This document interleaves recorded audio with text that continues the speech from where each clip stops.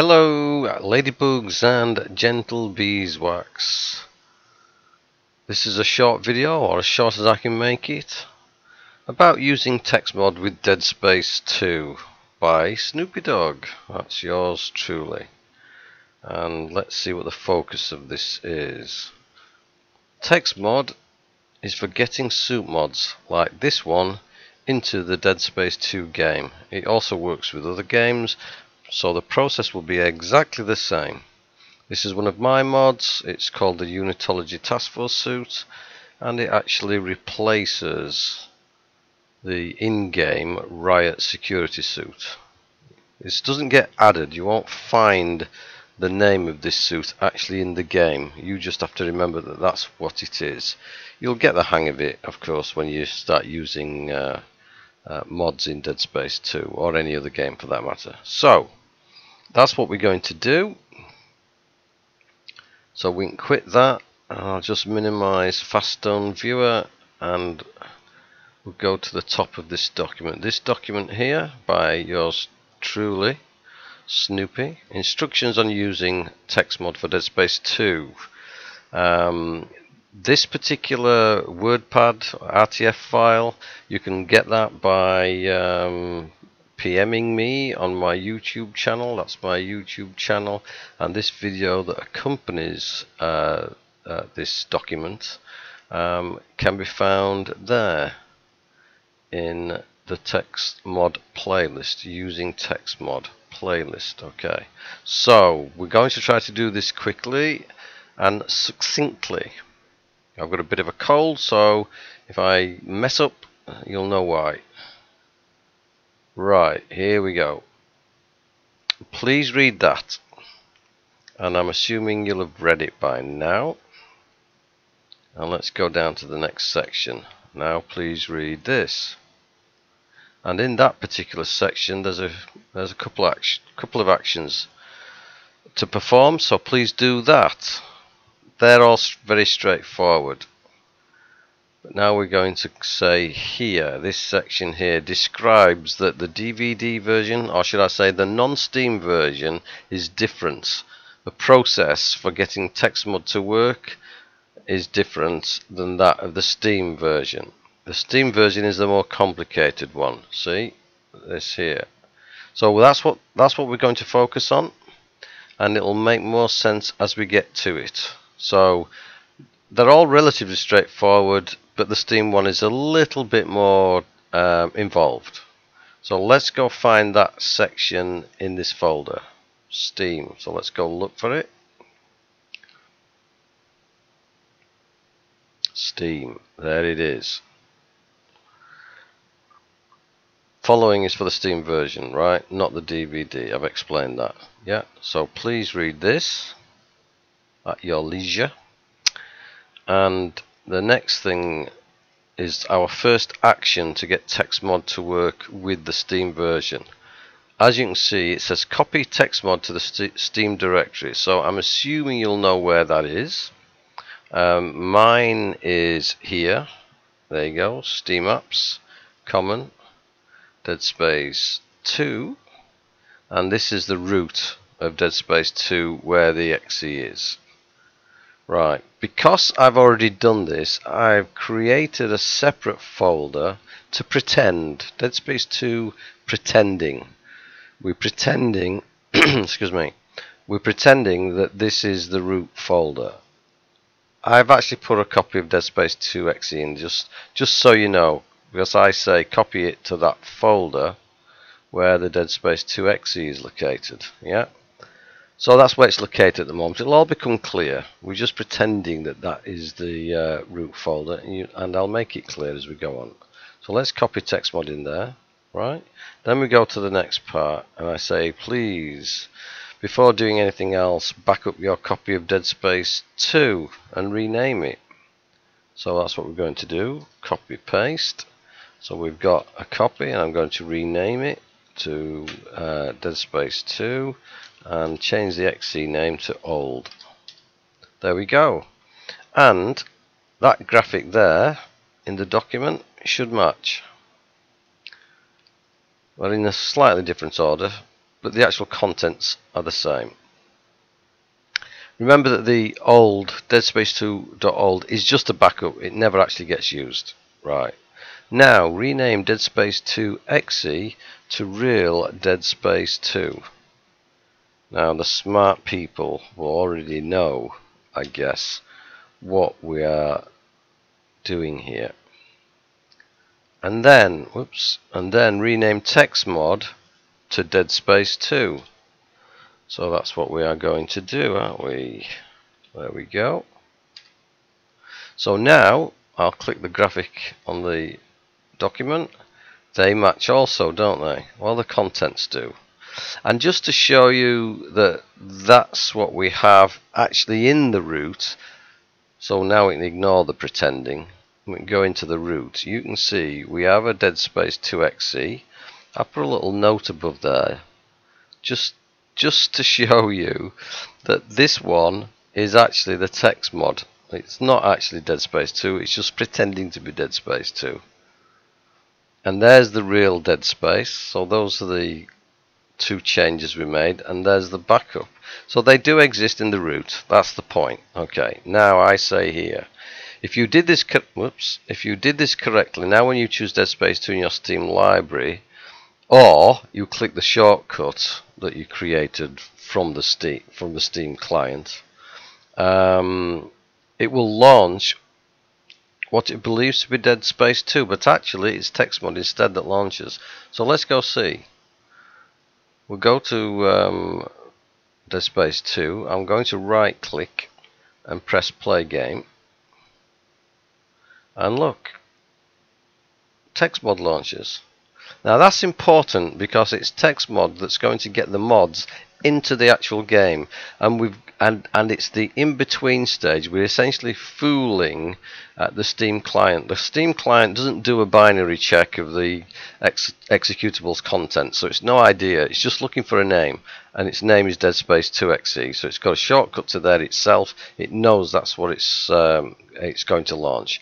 In this case of course it launches TexMod and just to show you that that is the case if we go to details now can you see Dead Space 2 is running. No, it's not, but Steam thinks it is, and that's the important thing. Okay, now let's just go down here, because we've got one more action to perform. When TexMod launches, set the target application to Real Dead Space 2. So now you know why I renamed that particular Real Dead Space 2 to actually Real Dead Space 2. It's because we needed to do it this way. Full um, steam into thinking Dead Space 2 is running and then we really run it. We really run the real Dead Space 2. So we click the target application, look, uh, tooltip highlights, click to select an application, so we're going to select it and there it is. Now you would have to navigate to yours. Um, uh, this list only starts to fill up once you've actually used uh, TexMod for modding games okay? But when you do you can just go back to them. So I'm going to click that because it's quicker. And there we are. We are now good to go. And I've just said here essentially we're fooling the Steam client. I've said that already. And then I also say now we can jump back to the section labeled all game versions. Because the process now is the same. It's identical um, we just needed to make some name changes in the Steam version. You don't have to do that in the DVD version.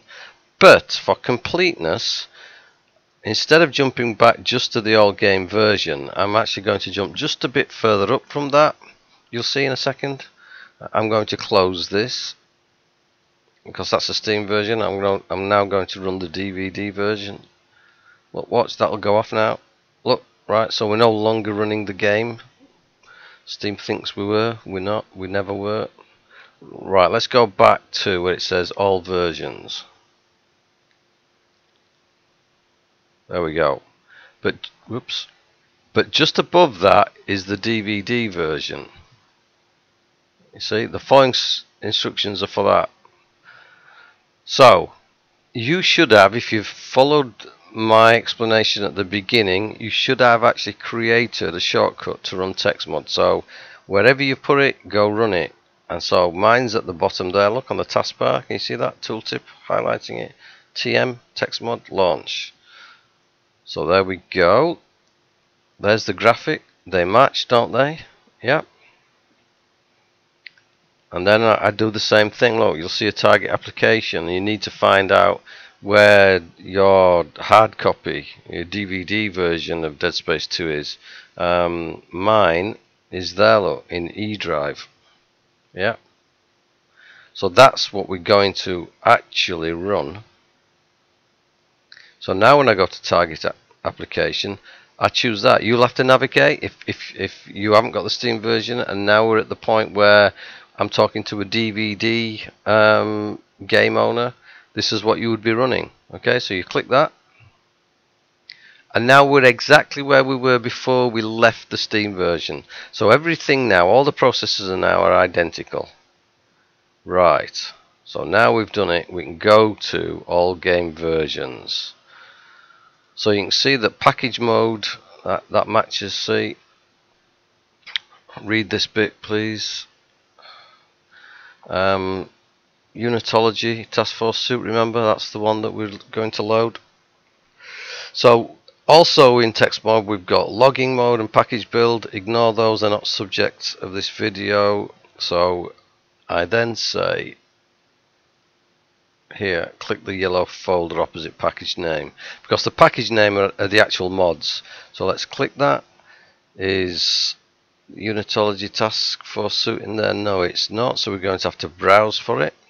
Well, I'm going to cheat slightly because I'm going to go to um, where am I going to go to? I'm going to go to um, visor color white. I'm going to do that first. The reason is, is it automatically opens that folder. When we go browse now, you'll see it opens all the visor folders.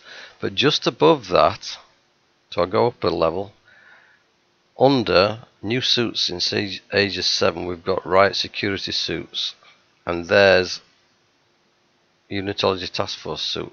That's the one we're going to load. So we open it and just move that down. Right next bit is covered here. Once correctly selected it should show you that. And click the mod file name and you'll get details and that's what we did. So that should match this. It does. So selecting the unitology task force suit it explains there it replaces the riot security suit. It doesn't add it it replaces it. And there's a few, you know a, a short description of the some of the changes that take place. Right. Um, now I say click the folder again and add some white color mods So I'm going to add white visor. I've done that already. Health and stasis, is that in there? No, it's not. So let's um, let's go to the visor and let's go to health and stasis. That, that's one up as well. Health and stasis. We'll add the white one again you'll have to navigate to that. And now you should have let's move this up so it's a bit more easy on the eye. So that's what we've got loaded in. Yeah. Yeah let me select unit. That's that matches now. Okay. Right now I'm saying assuming that this is all we're loading to the game you're good to go. You could add more mods and I'm going to because this is a video I can do what I like. I didn't include it in here because it just adds more stuff to do but I can quickly show you how we do it. Let's add the triage javelin. Let's add the detonator. And is the plasma cutter there? No it's not. So let's go find that. There's the forged plasma cutter I want. So now we have six items don't we? One two three four five six. Now I say here important and I talk about the color mods. They need to be at the bottom of the load order. So moving using the arrow keys we'll move them down to the bottom of the load order. And we'll make sure that we leave the Unitology task force suit or whatever suit mod you are actually using. It works for for we're just using the unitology um, uh, suit as a uh, as an example but it could be any of the mods that I've done and I've done lots. Okay? So now we are good to go.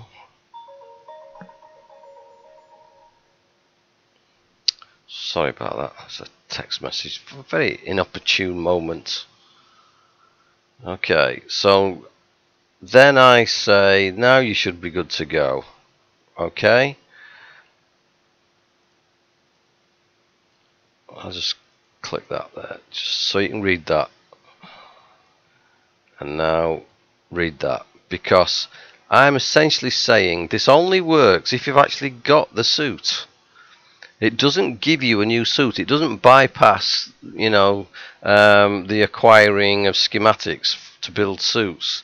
Um, the Riot security suit, for instance, is acquired after a complete playthrough on any difficulty.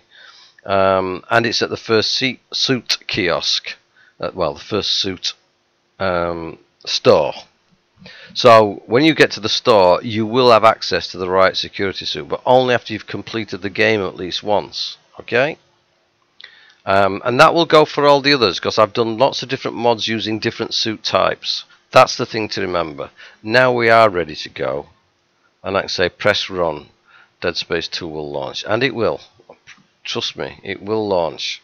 And it will have the Unitology Task Force suit. However, let's go down the bottom here. A quick recap of what's covered in this installation guide. You got that? Right. This part is important, see. I explain here about the replacing of the suit.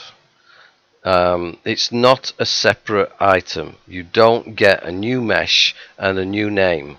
In you will not you will not find any reference to the Unitology Task Force suit actually in Dead Space 2. I think that should be clear now. Anyway, that's it. I hope you enjoy the mods, and um, it's best wishes and happy gaming from me, Snoopy.